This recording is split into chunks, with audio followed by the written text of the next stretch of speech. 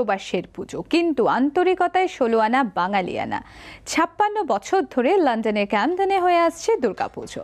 উনিশশো তেষট্টি সালে লন্ডনের কিছু তরুণ বাঙালির অনুরোধে অমৃতবাজার পত্রিকার তুষারকান্তি ঘোষ কুমারটুলি থেকে প্রতিমা পাঠিয়েছিলেন লন্ডনে।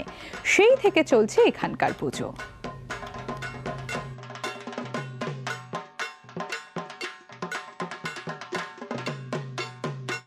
পরবাসেও প্রাণের পুজো। দিল্লি, মুম্বাই থেকে ত্রিপুরা, অসম দেশের কোনায় কোনায় দুর্গা বন্দনা বিদেশেও জমকালো মাতৃ আরাধনা ইংল্যান্ড, নিউজিল্যান্ড থেকে নাইজেরিয়া।